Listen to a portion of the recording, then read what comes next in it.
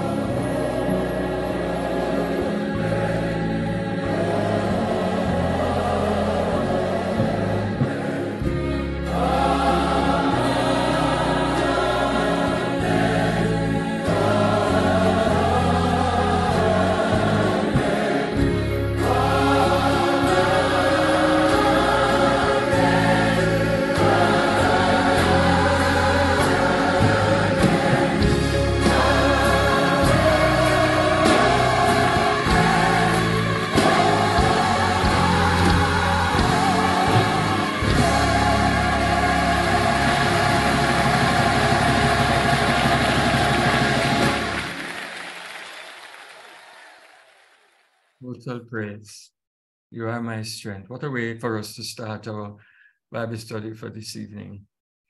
It's my pleasure to introduce our Bible teacher this evening. He hails from Portland.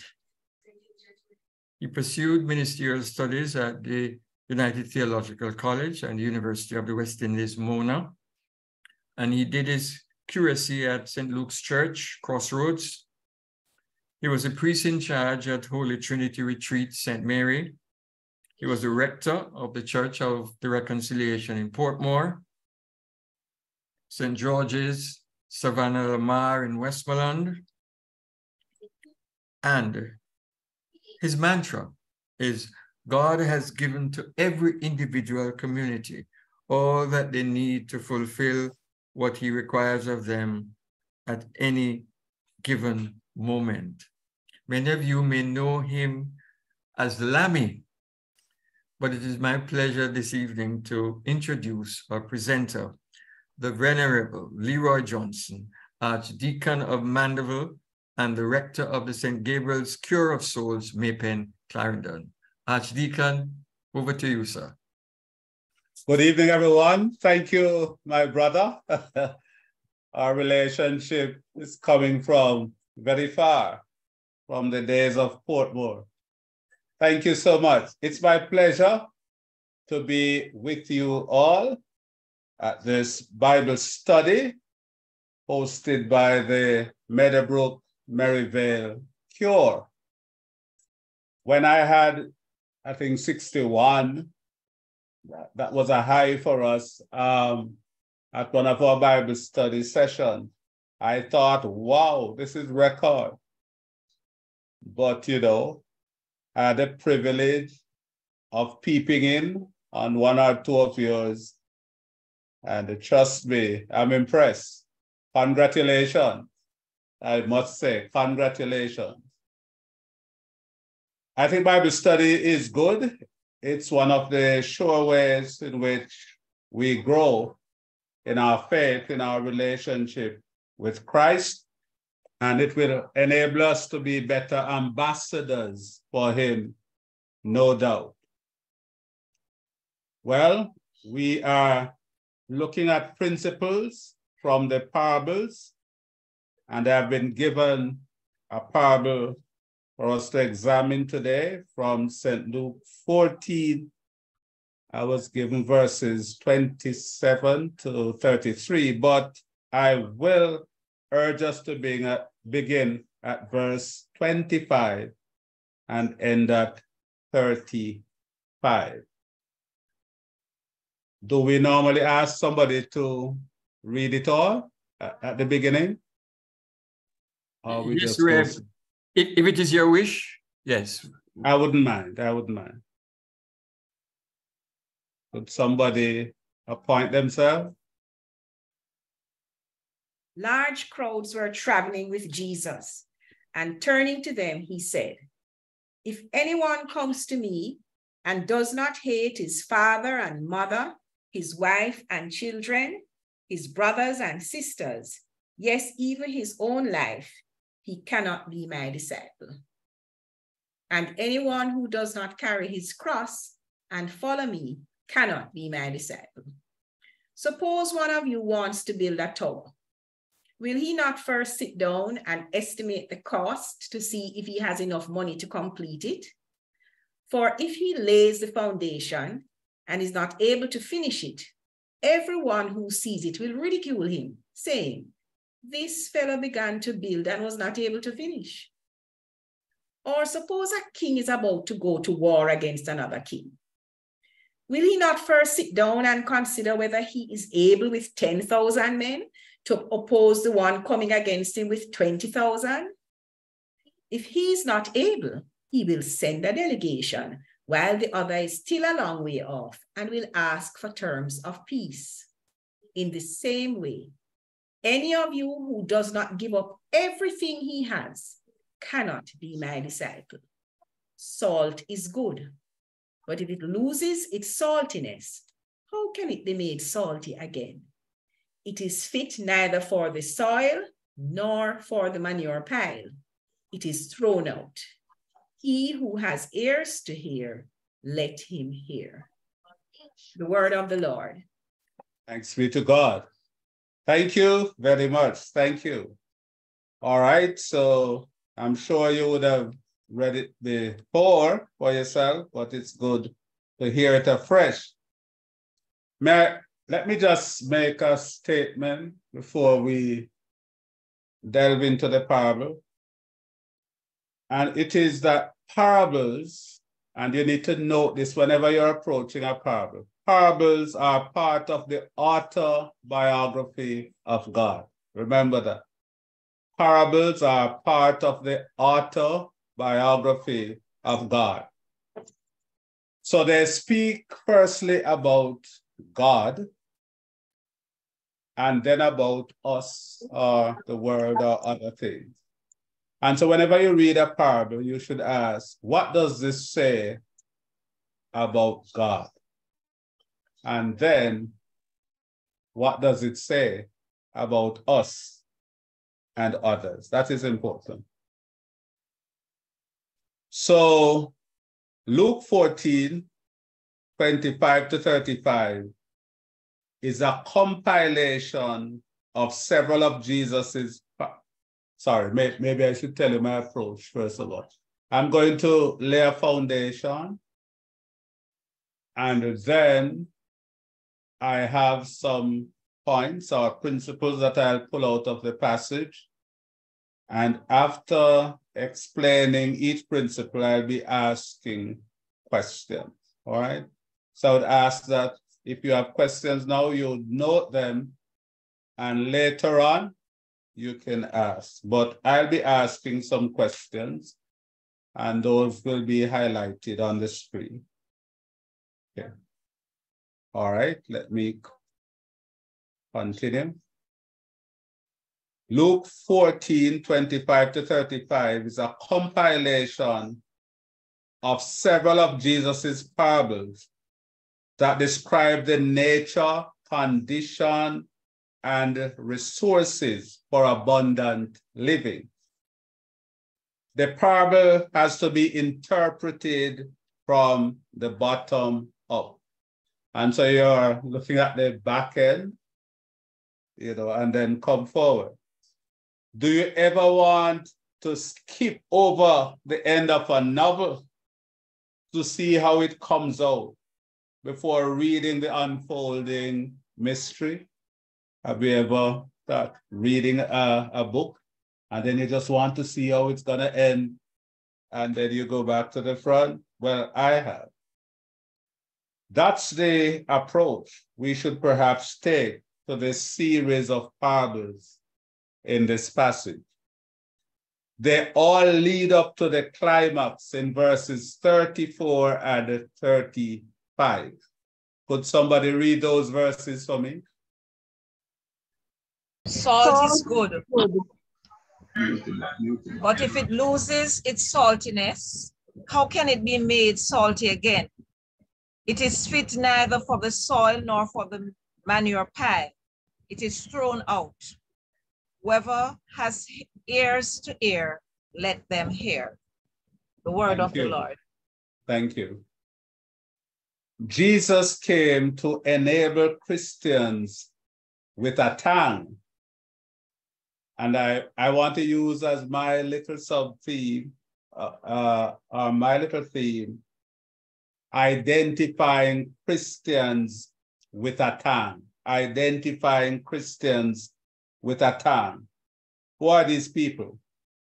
These are people who are distinctive, sharp, pungent, salty Christians with an incisive quality that seasons the life of others and society.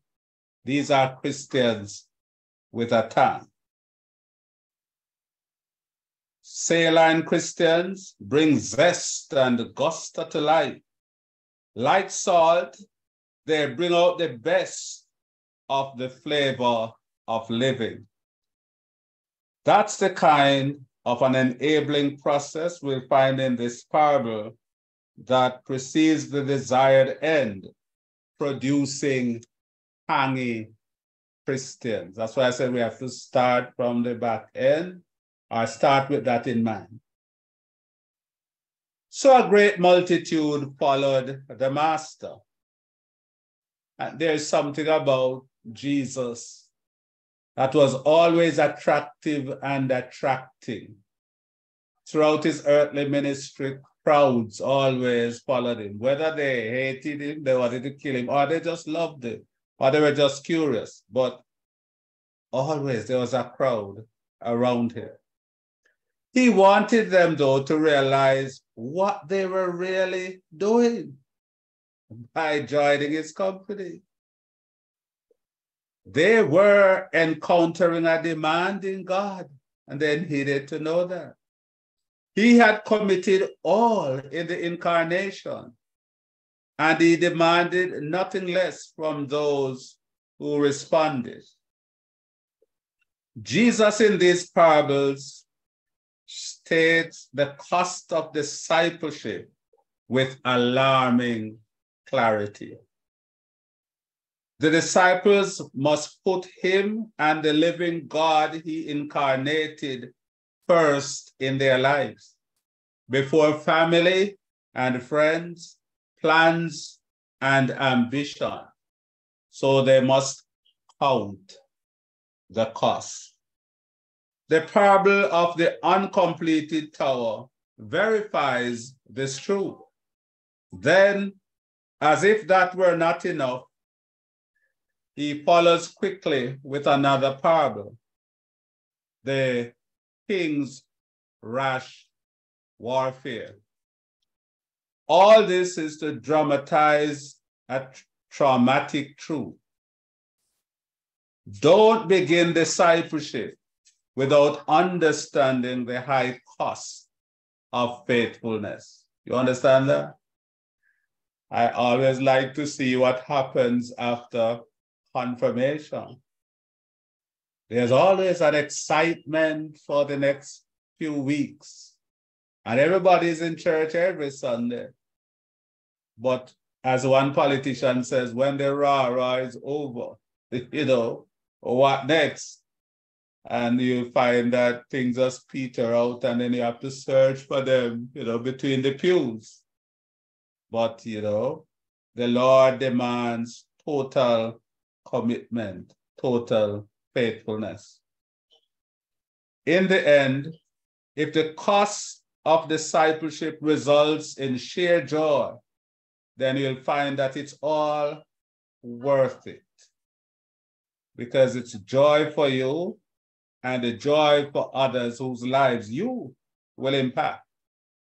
A breakthrough to this discipleship will radiate in a vitality, freedom, and a joy that cannot be found in no other way. As this chorus says, if you want joy, real joy, wonderful joy, let Jesus come into your heart. And those who have accepted Jesus' invitation, they are basking in that today. You know, when Paul finally, you know, uh, got the aha moment of his life, there was no greater joy. He says, What? Everything else I had, I count but dung. They cannot be compared with the joy that I find in Christ Jesus at all. We will have the pungent, penetrating aroma of Christ. Life will be exciting. Christ's demand will have delivered us from the mediocrity of secondary loyalties. In the Sermon on the Mount, Jesus said to his disciples, and by extension, us, You are the salt of the earth. He did say you are the light as well, but today we are focusing on salt. If the salt loses its saltiness, wherewith shall it be salted? Matthew 5 13. Brothers and sisters, Jesus is saying here, we cannot afford to lose our time. We cannot afford to lose our time. I'm going to now provide us with seven considerations as to what it means to be Christians with a tongue. Remember, we're saying we are bearing in mind the back end of the parable. And these points will emerge, of course, from the passage in question. So after each short presentation, I will open the floor for, I ask a question. And if you have any, you can ask related. So first point, to pull from the passage. Tongue in the Christian life comes from the indwelling Christ himself. He is the God salt in life. If anyone comes to me, verse 26, you know, so if you come to him, that will happen. Salt works by association. It must be placed in the food to bring out its taste. Christ challenged us in, and his disciple, and by extension us, in St. John 15 to abide in him and to allow him to abide in them and us. A personal relationship with Christ is key to what we consider being and doing. Being and doing. So who you become and what you are able to do. A personal relationship with Christ is important. He did say in John 50, apart from me, you can do nothing at all. Just as food is flavored by salt, one's natural capacities are maximized when we form a personal relationship with Christ. The problem I find with some of who claim to be Christ ambassadors today, some of the DJs who maybe just want to put on a show. So although they, they, they, at that moment they will claim knowledge of Christ and they will sing some correct things, theology good and so on. But when you examine their lifestyle, very often so much is left to be desired of their relationship with Christ. And so it comes across empty after a while. And maybe that's why, you know, Lady Saw is getting all the bashing. You remember Ninjaman, Brother Desmond, when he was Brother Desmond, and he was around Crusade and all of that. And the next moment he was what? Gunpanty Dan Gaga. So you see, we can give these mixed signals. Jesus will call us the Pharisees and scribes, hypocrites. And so that level of consistency is important. But it is only as we abide in Christ that this level of consistency in us will be demonstrated. So the question I want for you, the first question, answer, and each person should try to answer it, whether within your own heart, or if you want to share, answer with us, is this. Yes, would you consider yourself an inside insider or an inside outsider? Before you answer, let me explain what that is. And I, I borrowed this, these terms from John Ogilvie, who wrote the book Parables, the autobiography of God. And it comes from one of the parable, I think it's a parable of the banquet, where there were persons there, but of course they never had their wedding garment on and so on. Now, an inside insider is a person inside of the church and they are inside of a personal relationship with Christ. An inside outsider is in the church, but they are outside of a personal relationship with Christ. Now, depending on who you are, it will make all the difference. And it's easy to know who are the inside insiders and who are the inside outsiders. The inside outside insider, because they have a commitment to Christ they are also committed to the mission of Christ. They are commissioned to, committed to the work of the church. These are the people you can readily call on to assist in different ways. And they are not afraid to bring their gifts, their abilities to the table. As the song says, let us bring the gifts that differ so these people who are always there in season and out of season and committed, they are dependable. These are inside insiders. An inside outsider can become the greatest stumbling block in the path of progress. We have them sometimes on the choir, they make no ends of trouble. We have them on the committee, no ends of trouble. We have them in the organization, no end because they do not want to see the church progress beyond where they have reached in their own growth path. So we have those. So the question is, would you consider yourself right now as an inside insider or an inside outsider? And why would you say you are the one or the other? Anybody wants to respond? Well, well, well, if I would lead off, I, I would consider myself an inside insider. Yes. Why? By virtue of the relationship that I am seeking to cultivate with God.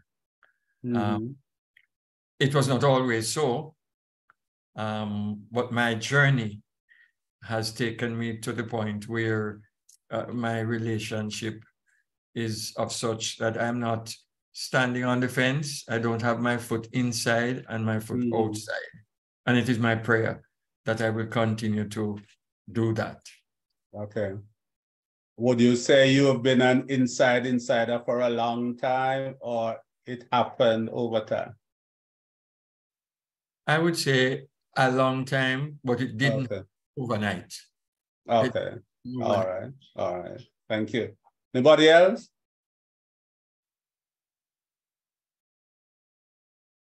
Because we have to, well, Christ would have already determined who we are, but you should have an idea too of who you are. Anybody else would like to respond?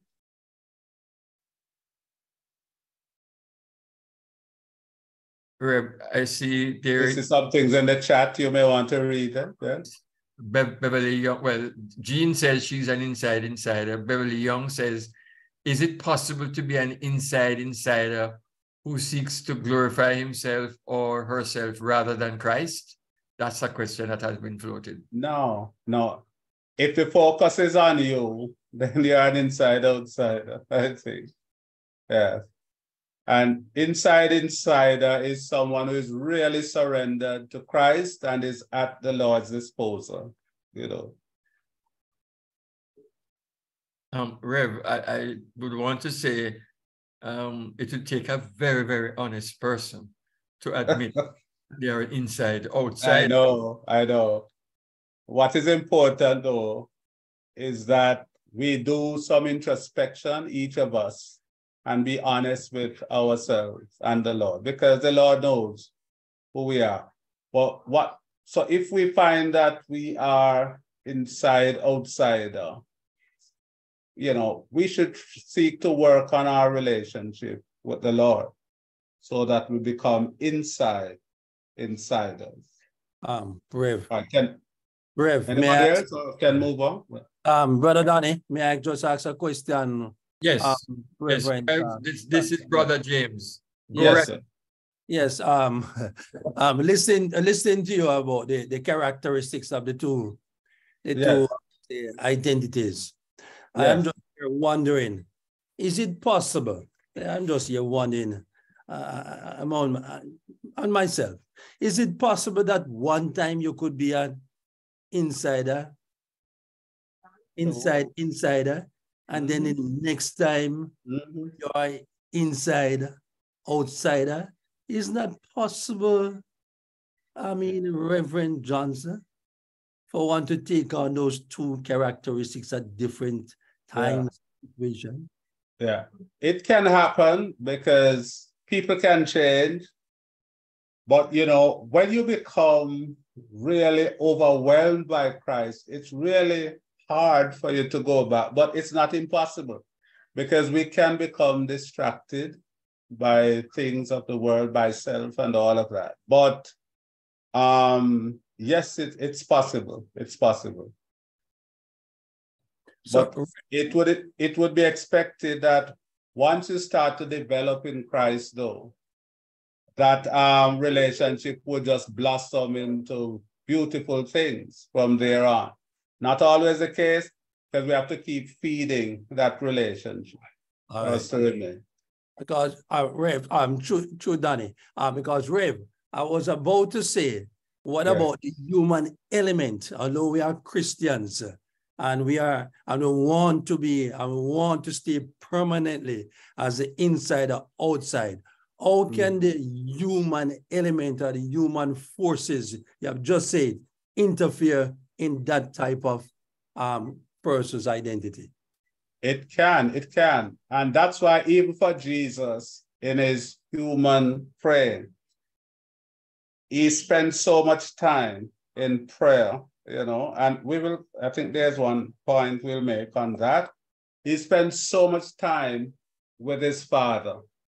And we are told we must put on the whole armor of Christ because the armor of flesh will fail us.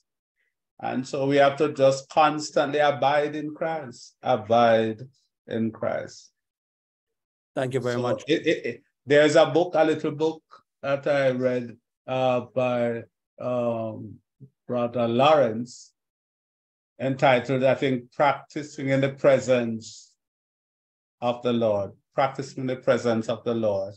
And so he tried to be so conscious at all times of the Lord in whatever he was doing. If he was sweeping the floor, if he was cooking, if he was washing, whatever it was. And that's what we have to do at all times. Just keep the Lord before us, behind us. And there's a song which says, you know, uh, God be in my head, by thinking, you know, God be in my feet, God be in my what eyes, my looking, whatever it is. So God should be before us, behind us, above us, below us at all times. It's that consciousness of Him we have to live with. Can't trust our own self. Right?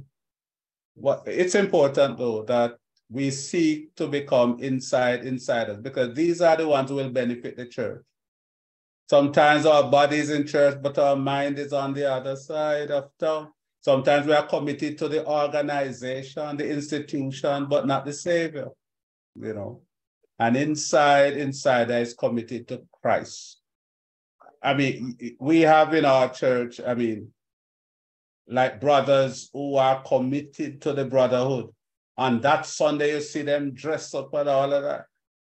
But the other Sundays, you don't see them at all. They are committed to that Sunday because the brotherhood is having. And you have other groups like that too. So we have to be careful. And it will be reflected over time. The people who are obnoxious, they knock down everything that you initiate in your organization at the committee level, whatever. Just tear down everything. They never have anything positive to say, to think, to offer. They need to watch themselves too. You could just be an inside outsider. All right, we get the gist. We can move on. All right. All right, let's move on.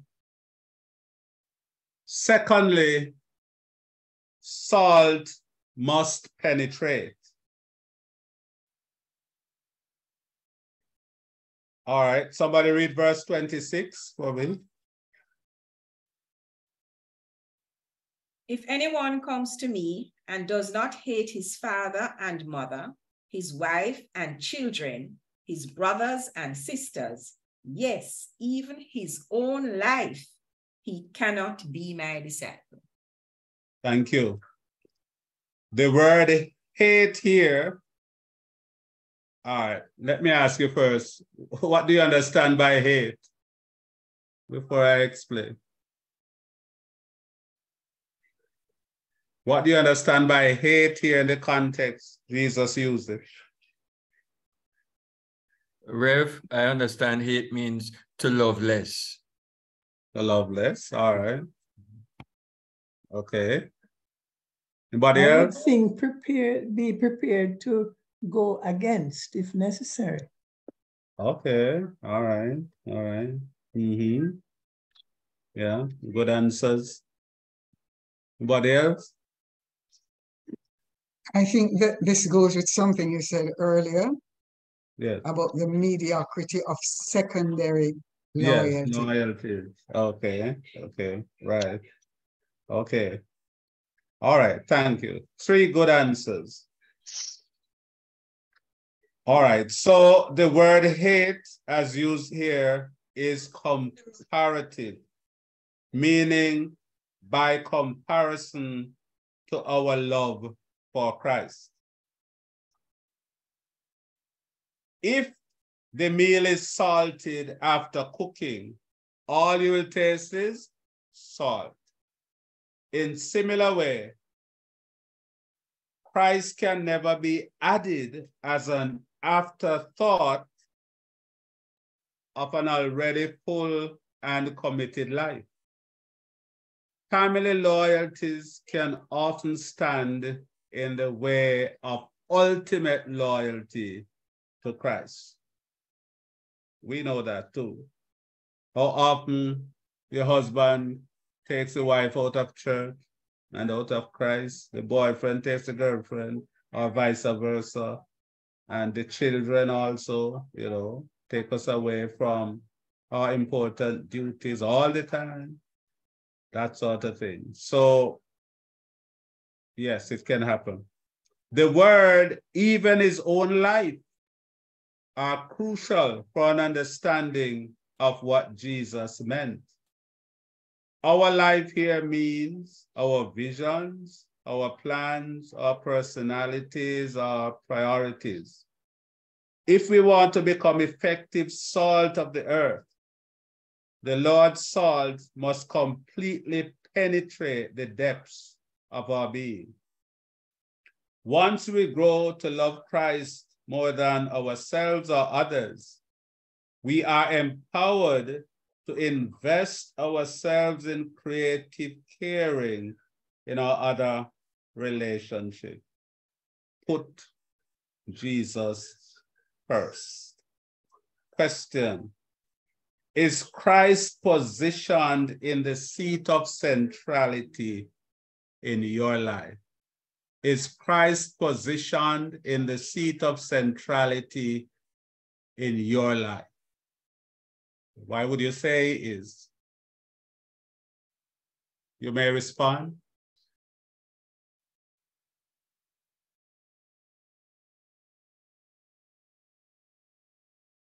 I, I always say, whatever occupies that seat is the object of your worship.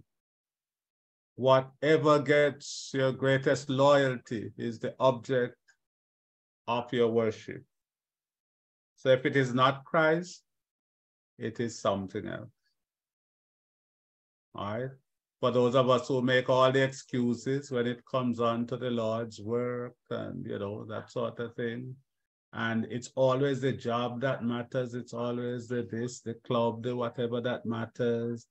We need to maybe watch that a little. Um, who is in the driver's seat in your life? Who is in the seat of centrality in your life at this time? Why can you say that with confidence? Nobody wants to respond? Rev, um, one of our participants, Sonia, said these are very hard questions. Well, those are the questions Jesus would ask. He put the hard questions or challenge to to, to, to those who followed him. And after a while, some left his company and says, who can manage all of this? He had to turn to the 12 and say, will you also go away? To which Peter replied, to whom shall we go? Amen. You have the word of eternal life. So it, it has to reach the point in our life where there's no alternative to Christ. No Amen. alternative to Christ. That's when you know he, he has you at his own sway. I love this song, you know. Have thine own way, Lord, have thine own way. Hold all my being absolute sway. Filled with thy spirit till all shall see Christ only mm. always living mm. in me. That is so important. So the questions were not meant to be easy at all. Rev, just two things in the chat. Jackie says, he is who we seek for guidance before decisions are made. And Beverly Young says, I believe there are moments when the position of centrality is taken over by my own comfort. Okay, that's honest, being honest. That is that Yeah. is so true. Yes. You know, That is Um, being, and, and- and who is not guilty? Who among us, you know, yeah, cast the And- first stone? Yes, where. I say it's a journey. We Yes. keep trying at it. We fault and we pick up and we start Yes. again Yes, yes, with a hope that we will come to perfection. that is true, yeah. Uh, and the Lord understands we're finite beings, we're limited, but He wants our heart to be in the right place. So that's when we fall down, we know that we need to get up, brush off, and continue. Yes, yes. It's a Rev- journey. Rev. I think um, Sister Jean had a question, but just to, um, Carlin Rose says in the chat, the questions are challenging us and pointing to the to the direction we should take. Jean, you Okay, something? okay. yes, you know, it's so interesting the question that you have asked because just yesterday, uh, no, Sunday, sorry, at St. Yes. Luke's, we Yes. we had a very interactive session Yeah, and it had to do with discipleship. Okay. And we we had to look at the things that would be taking the place of Christ.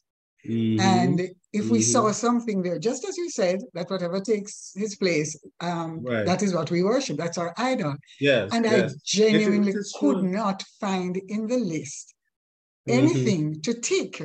Mhm. And um, somehow, after I came up from taking communion, it hit me Yes. self, self, Mhm. self takes the throne sometimes. you know? Mhm. So whereas generally I would say yes, um, Yes. Jesus is my Lord, and you know I Mhm. check out everything with Him and so on. Mhm. Yes, Mhm. but sometimes, as somebody said, um, your own comfort may, Yeah. may come up and, so on. But this is why Paul says we die daily. Daily. You know? Mhm. So, Mhm. so I agree with you, Yvette, that Yes. yes, it's not that Jesus is not our Lord. He is, Mm-hmm. and we- would not give him up for anything else. But we do slip sometimes. we do. And our desires sometimes override his will. And Right. that is why he sets the tone for us by saying to his father, If it is your will, nevertheless, not my will, but thine be done. And, and Yeah. that's where, where we have to live. Okay. And, and so, yes, so I, after the service, I was able to write down self, crumple up the paper, and put it in the bin like other mm. persons have been doing. Okay. Thank you for that contribution. You are right. You are right. It's a journey. As I said, if our heart is in the right place, I think we will brush off and we'll continue. All right, let's continue. Um, thirdly, the cross is the power of our salty tongue. The cross is the power of our salty tongue. We can only imagine how disturbed Jesus's followers were when he said, Whoever does not carry his own cross and follow me cannot be my disciple. Verse 27. The cross during the time of Jesus was an instrument of execution.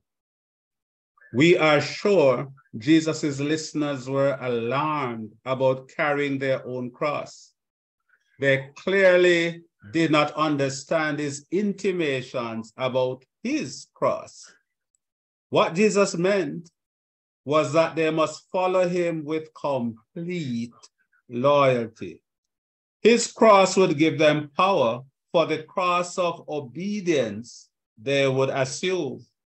Remember, the cross means love, faithfulness, surrender to Jesus Christ. The cross of Jesus then is the basis of our passionate concern for others. As salt of the earth, we can communicate hope,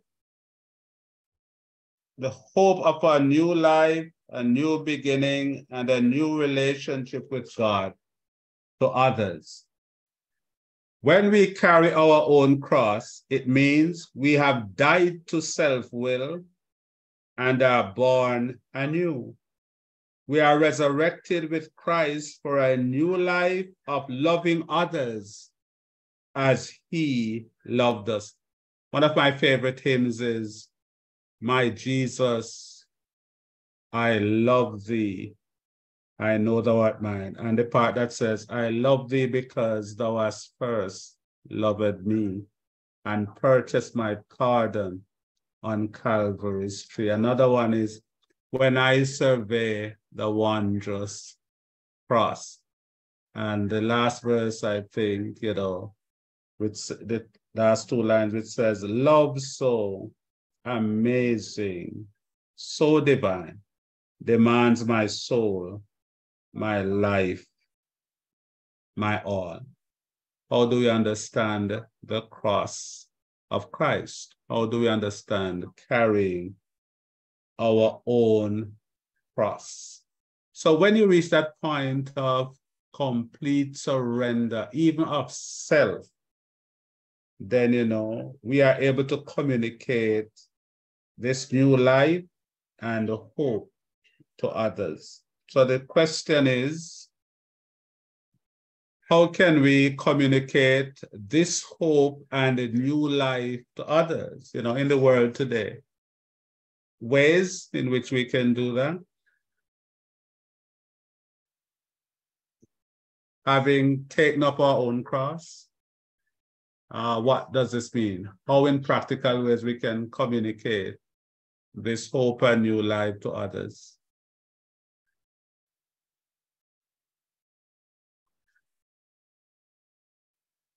Anybody? One way? Anybody? Was there something in the chat? Yes, sir? Yes, um, Rev. Beverly says, um, by the way in which we live and interact and show love to others. Mhm. Mhm. Carol, All right. Carol Jones says, let your life be an example to others. Yes, okay, all right. Any practical example you want to point out? One way, one practical way? What does bearing one's cross in the world today mean? In light of this question, We, we also need to share the word, yes. Mm-hmm. you Mm-hmm. know, to, to talk about um, Yes, what, what Christ has done for all of us and what he has done in our life. right, right. I, I I- think seeing a okay. need, seeing a need and meeting that need without waiting to be asked. Mm-hmm. Mm-hmm. Okay, yes, agree. Um, Jackie says in the chat, being understanding, patient. Um, Mm-hmm. uh, Sonia says, standing firm in our belief in Christ. Pat Sinclair, Makala says, being sensitive to the needs of others, showing compassion and empathy. That's uh that's uh thank you, thank you. I I saw something the social media. Somebody sent. I think it's the um diocese's WhatsApp or social media page where this lady she was born in a poor family and she really thought she was the poorest of poor. But then somehow the Lord smiled his blessing on her. She became a, an air hostess. And she said she made a trip to Bangladesh. And somehow she walked the communities and went into the slum. And there she really saw real poverty. She thought she knew poverty, but there was where she saw poverty, extreme, extreme poverty. And she said that changed her entire life.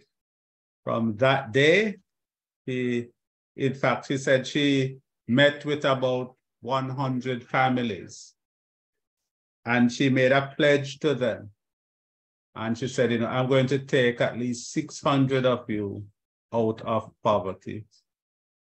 And she did all sort of things and broke so many records, you know, Guinness Book of World, World Records. She entered just not to big up herself, not for self-aggrandizement, but so that she could earn something to assist those persons she saw in abject poverty.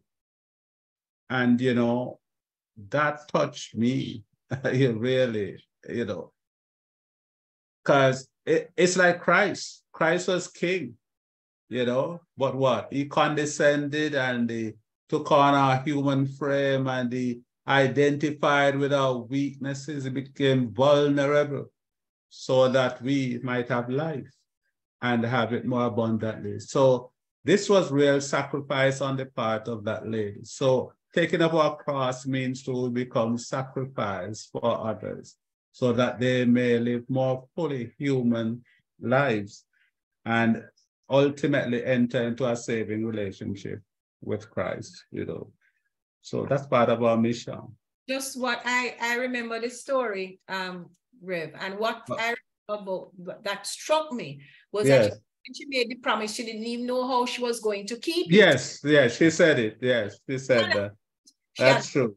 Any marathon or anything. And yet because she, I suppose the Lord realized in, in you know, the, the, the sort of sincerity of her. Yes, yes, yes, yes. All kinds of things that she never even knew she would have been able to. That, that really, is true. That is true. You say you that want, but you, you don't know if you can, you know, you don't mm-hmm, mm-hmm. hear God. But sometimes yeah. Step, the Lord will, you know, work it out. And, that's how the cross, you know, challenges us also to make ourselves living sacrifices. And we say that every Sunday in the celebration of the Eucharist, you know, you know. Yes. As these bread and wine become the body and blood of Christ, so may we become channels of your love, you know. And that's what we are called to be. So we don't just come to church to fill up our tanks and go home. We come that we may be transformed as and as we are transformed by Christ, we become agents of transformation in the world. That's what Paul said in, in 2 Corinthians 5. You know, that God in Christ has reconciled us to himself, and he would have committed to us the ministry of reconciliation. And so that's what salt does, you know. Salt transforms, salt impacts. And so by taking up our cross, we really become salt in real ways, real ways the world. Yeah. All right, next one. Rev, um, yes. Jordan, may I just say something here? Um, uh, uh, Reverend Johnson, after listening to the various views, I'm just here wondering. Yes. Because I have seen in real life now, in real life, persons who we do not even consider as inside, insider, or Christian mm-hmm. have relationship. I don't know if they have any relationship with Christ, but mm-hmm. some characteristics I see that I see it in them, such mm-hmm. as giving, caring, right. patient, not mm-hmm. cantankerous, loving. Mm-hmm. Mm-hmm. So, so, how do you deal with that? How do you reconcile that? Yeah. yeah. We have to be careful how we draw a line of demarcation, or we put persons in file 13 because they are not of our faith, our church, whatever, they are not baptized. It is Christ who has the last say. Remember, there was somebody who was casting out demons, and the disciples said to Jesus, Stop him. We see him casting out demons, in your name, and he's not one of us. Stop him. And Jesus says, You know, don't stop him. He who is with me can't be against me, that sort of thing. And so the Lord has the last say. So it's not for us to determine who is in heaven and who is in hell, who is inside, inside, or who is outside, outside. It's they and the Lord will have to work that out. It's not for me and you to determine, really. They and the Lord will have to work that out. But it's true. There are many who are outside of the, the structure of the church or uh, the membership of the church, but they their heart is like gold. Their heart is a reflection of Christ. Jesus did say, There are other sheep that I have that are not of this fold. They too I will bring. And there'll be one fold and one shepherd. And so it's not for you and me to write them all. We continue to pray for the word. It's interesting how many of us as Christians, we can't wait for the Lord to come uh, back for, you know, his people and the world. And we sing songs like, I want to go to heaven and rest. I'm tired of staying down. I don't sing that, you know, because guess what? There are so many people who have not yet acknowledged Christ as Savior. And we know that it is not the Lord's will that any should perish. And so we should use whatever opportunity that we have on earth to attract, to be salt, to be light, rather than singing, I want to go to heaven. And it's selfish of us, I think. That's how I see it. All right, moving on. And please time me, time me, folks. Will do, Rev. Okay. Now, fourthly, the tangy Christian is the one who is unreservedly dependent on Christ's resources to meet Christ's challenges. All right? The parable of the builder has a hidden meaning. At first glance, we accept the surface meaning that it challenges us to have what it takes to be a disciple. And could somebody read for me uh, verse 28?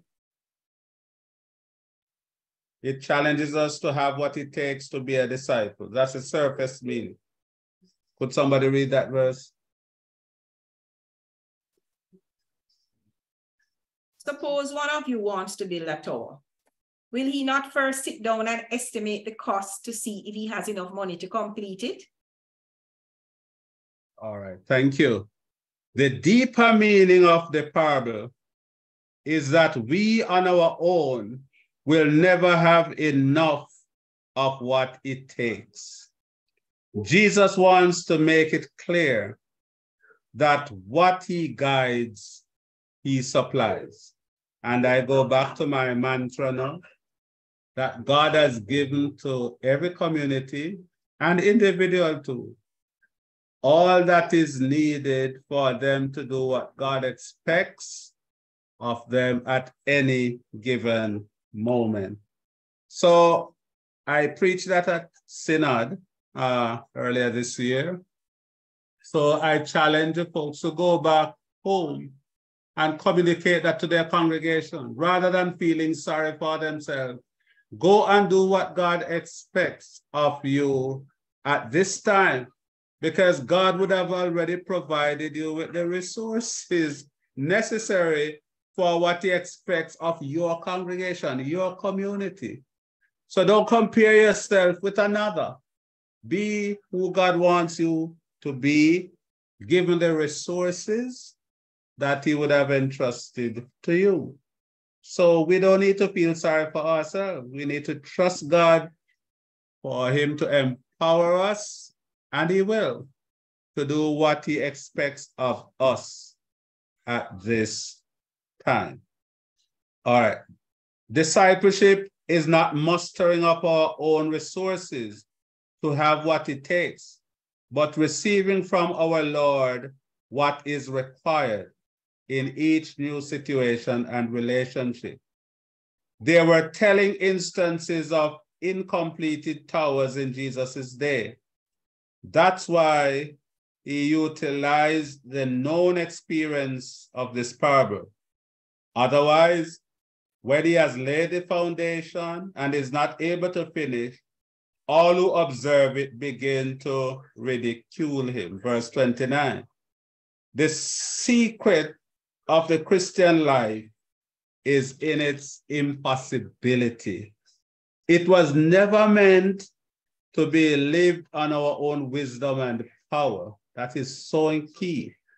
A Christian with tongue is one who dares to believe that because the Lord is present, then there is no limit to the miraculous interventions of his power that can invade the impotence of our daily lives.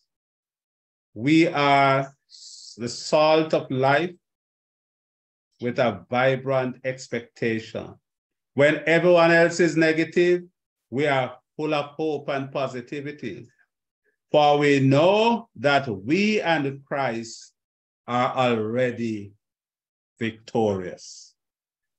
So the question is, what do you credit for the current successes or failures in your congregation? You know, and part B, what is your resolve going forward? At St. Gabriel's, our vision plan, and we paint a five-year picture, is to grow the church spiritually, functionally, numerically, financially, and there might be other alleys. But we do believe that this is what God would want, and we do believe that we have the resources in hand to grow God's kingdom spiritually, functionally, meaning what? People offering their gifts and so on, numerically to grow the numbers, and financially. Because, you know, we're part of two realms, of course. There's the divine kingdom, and there is the kingdom of Caesar. But the king, the divine kingdom was always first. The, the, in, the kings of the earth were by orientation religious because they were supposed to be servants of God. But more and more we are seeing where, you know, uh, there's a divide. And so there are even politicians who say that the church should not meddle in politics and we should just preach the gospel and leave the politicians to do the work of politics. That is so sad, so sad. But this is our resolve. And we believe that if we work on it faithfully, if we are responsible for our effort, God has already provided us with the resources and he'll crown us day by day with his blessing. Uh, you might be experiencing challenges, I don't know, or there are things to celebrate. You know, what would you blame or praise for these? You know, what are the areas of challenges and What's your resolve leaving Bible study tonight? This might be the last question. uh, so um, let me hear some responses though, because this is so important. So often we sit down and we think that the grass is green on the other side and we have nothing going for us and everything is happening at St. Andrew Parish Church or St. Luke's Crossroads or wherever and nothing happening. But we must not sit down and feel sorry for ourselves. There's no blank slate in our churches, you know. Everybody has, sometimes we are not encouraged, but sometimes we are selfish with what we have, you know. But it's important that we harness all the gifts and we bring them to the fore. You know, I walk through my congregation and I and I pose a challenge and I say, listen, the choir is diminished and there are singers in the congregation. God tell me to tell you go join the choir. Right now we have more people at St. Gabriel's choir since I'm there because I've challenged them. You know, we have more servers because we have challenged them. I remember when I was in St. Mary, I did the same thing, and some of the mainstay on the choir today are persons that I challenged when I was there. Um, and the gifts are there. How do we harness them? uh, what do we blame then our praise? So what's happening or not happening in our congregations, you know? Maybe that's something you want to ponder on and what's your resolve leaving here? What can you do differently now with this new perspective that I'm offering to you? Anybody wants to respond?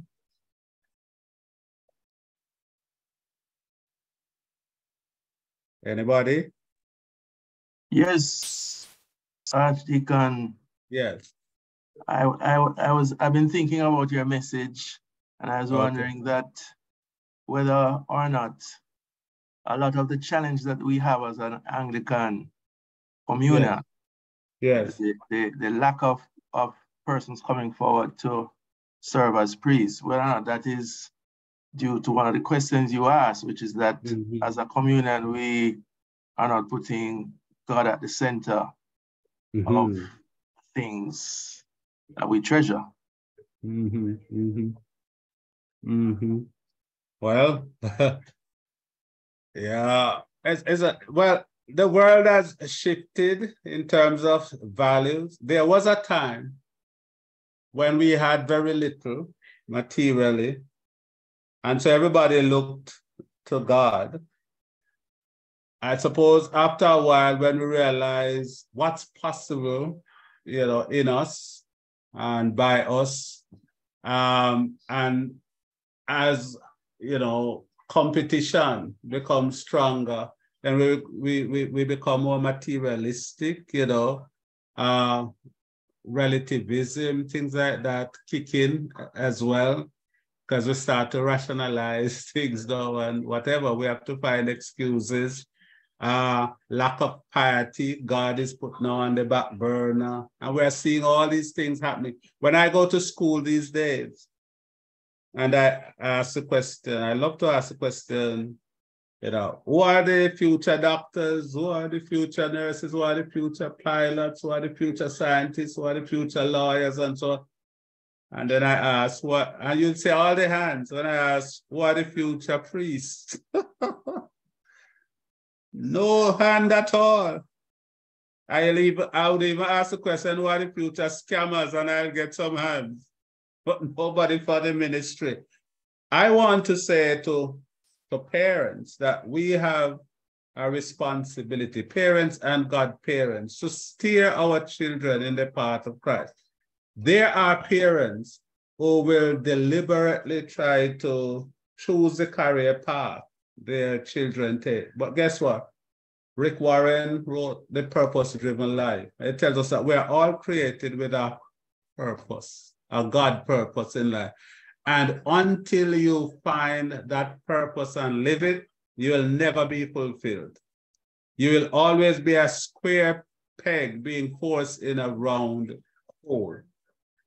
You know, I have operated as a, as a priest for about 30 years or so. And um, if I was to live my life again, I would opt to be a priest because I believe this is where God has called me to serve. And I am happy, I'm fulfilled in doing so. Some are to be teachers, some are to be doctors, some are to be whatever. But it is so important that we are so conscious of the movement of God in whatever we do. And don't tell me that God used to call priests, but he's no longer calling priests. I don't I just think that our value system would have shifted. We are no longer a God-focused society or world, you know.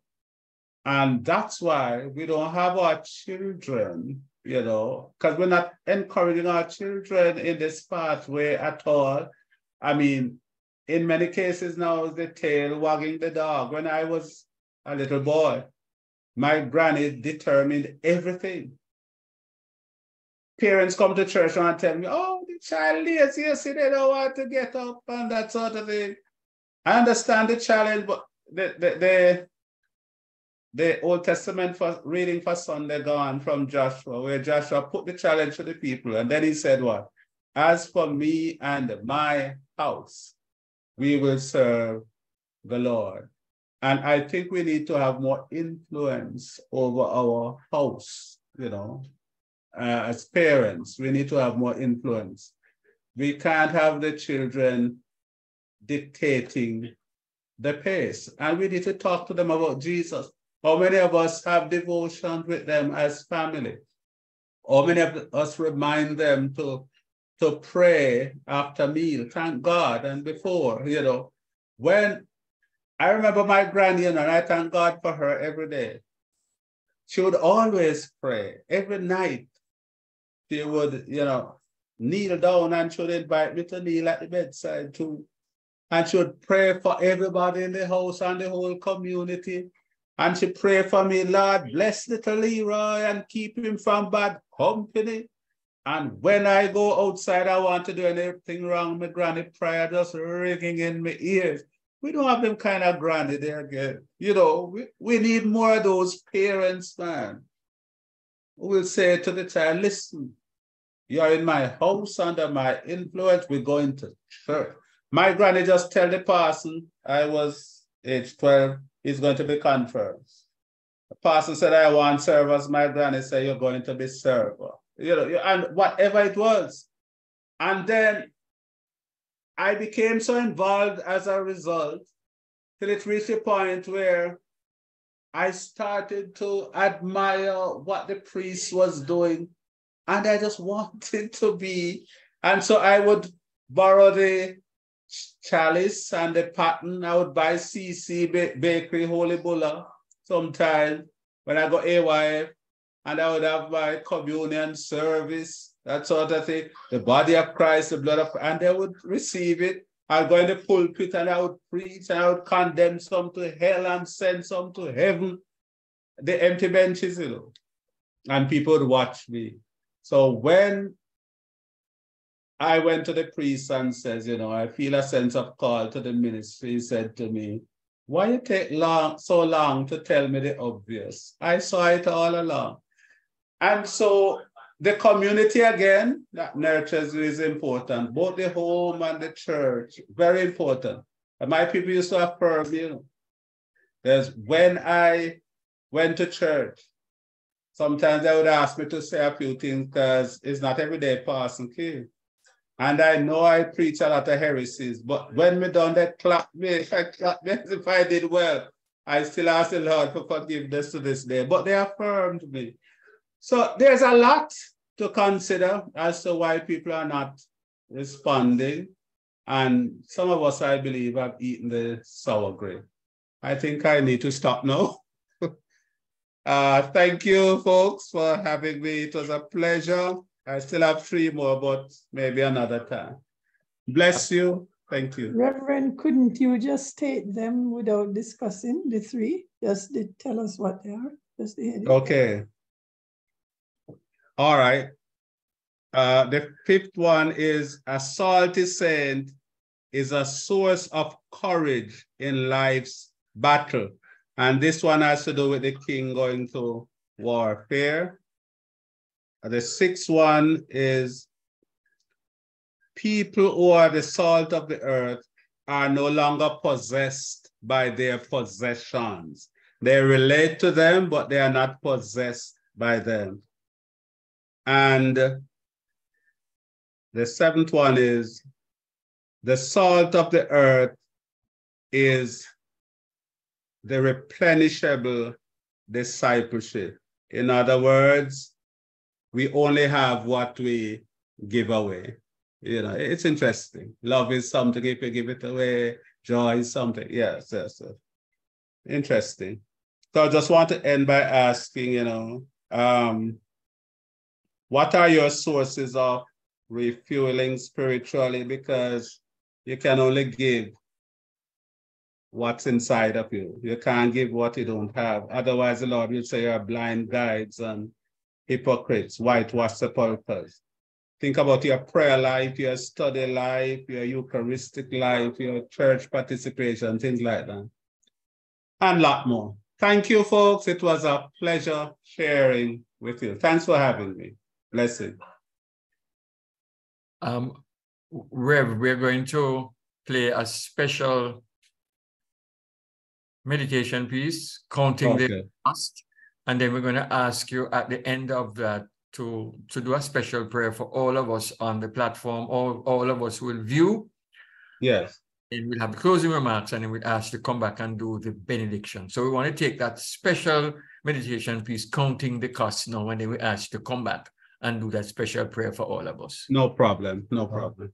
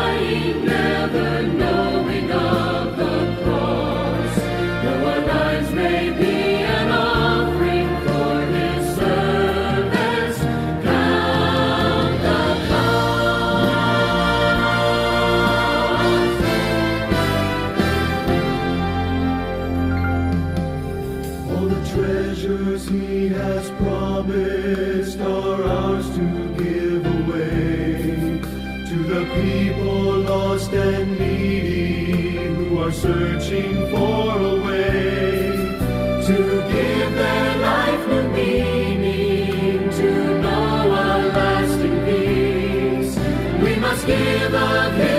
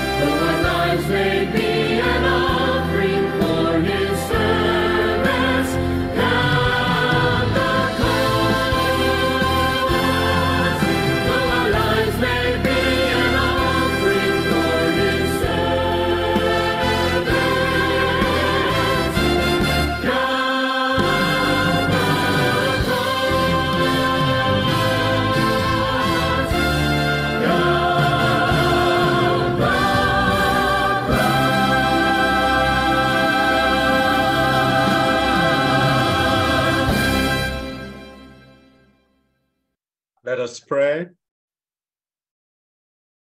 Great God, you are the source of our lives, the source of our joy, the source of our stay. We thank you for this moment spent with you. We are conscious of your guiding hands. Thank you for the way you have guided us. We pray, oh God, that as you, as you have spoken to our ears, you'll also speak to our hearts. Your word has wings of its own, and it can fly into the very inner recesses of our being. We ask, Lord, that day by day you'll continue to grow us, make us inside insiders, people who are wholly available to you. Help us, Lord. Teach us how to abide in you day by day as we are strengthened by your word and sacrament, as our involvement in the life of your kingdom help to shape us. And then, Lord, use us as ambassadors of your kingdom, that through us your name may be honored and glorified, and your kingdom advanced on earth. So continue to prosper us and prosper your church. We pray, Lord, for this Bible study group and every participant. Pray, Lord, that you will touch us anew and make us more and more like your Son, Jesus Christ. Fill us to overflowing with excitement with your goodness. And so, Lord, as we leave this place, as we leave this study, do not leave our presence. We ask, Lord, that you'll abide with us always.